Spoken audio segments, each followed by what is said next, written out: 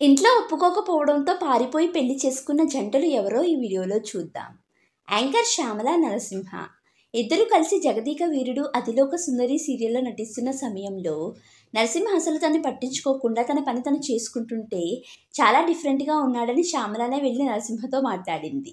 ఇక షూటింగ్స్ పూర్తయ్యాక నరసింహ కారులోనే శ్యామల ఇంటికి వెళ్ళడం చేస్తూ ఇద్దరు ఒకరి గురించి ఒకరు తెలుసుకుని ప్రేమించుకోవడం మొదలుపెట్టి పెళ్ళి చేసుకుందామనుకున్నారు. దాంతో ఇంట్లో చెప్తే శ్యామల వాళ్ళ అమ్మగారు ఒప్పుకోలేదు. దానికి కారణం శ్యామల బ్రాహ్మణి నరసింహారెడ్డి కులానికి చెందినవారు కాగా రెడ్డిలు అంటే బాగా కాపంగా ఉంటారు అని అసలు ఒప్పుకోలేదట. దాంతో షూటింగ్ లొకేషన్ నుంచి పారిపోయి పదిహేడేళ్ళ వయసులో శ్యామల రెండు వేల ఏడవ సంవత్సరంలో నరసింహని పెళ్ళి చేసుకున్నారు.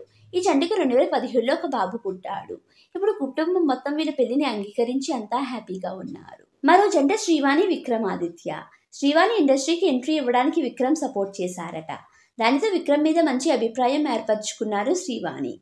అప్పట్లో ఘర్షణ చంద్రముఖి వంటి సీరియల్స్లో నటిస్తున్న సమయంలోనే విక్రమాదిత్య కొరియోగ్రాఫర్గా ఈవెంట్ మేనేజర్గా పనిచేస్తున్నప్పుడే ఇద్దరు ప్రేమించుకున్నారు. ఇక శ్రీవాణి ఇంట్లో పెళ్ళికి ఒప్పుకోరని అర్థమవడంతో పదిహేడేళ్ళ వయసులో ఇంట్లో నుంచి పారిపోయారు.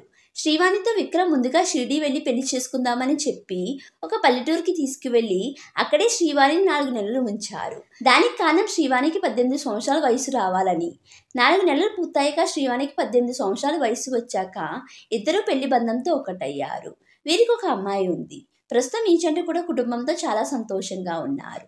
సుష్మా రవికిరణ్ వీరిద్దరు కూడా ప్రేమించుకున్నారు. ఆ విషయం ఇంట్లో చెప్తే ఇంట్లో కూడా పెళ్ళికి ఒప్పుకున్నారు. కానీ ఒకసారి రవి సుష్మని కోపంలో తిట్టడంతో నేను రవిని పెళ్ళి చేసుకోనని సుష్మ ఇంట్లో చెప్పడం అదే సమయంలో సుష్మ ఫ్రెండ్ రవి మంచివాడు కాదు ప్లే అని సుష్మ పేరెంట్స్కి చెప్పడంతో ఇంట్లో పెళ్ళి క్యాన్సిల్ చేశారు. తర్వాత సుష్మ రవి మంచివాడే ఏదో కోపంలో పెళ్ళి వద్దన్నా అని ఎంత చెప్పినా ఇంట్లో ఒప్పుకోకపోవడంతో ఇంట్లో నుంచి పారిపోయి రెండు వేల తొమ్మిదిలో పెళ్ళి చేసుకున్నారు. వీరికి ప్రభంజన్ అనే కొడుకు ఉన్నాడు. ప్రస్తుతం వీళ్ళు కూడా సంతోషంగా హ్యాపీ లైఫ్ని లీవ్ చేస్తున్నారు. ఈ జంటల్లో మీ ఫేవరెట్ జంట ఎవరో కామెంట్ సెక్షన్లో కామెంట్ చేయండి.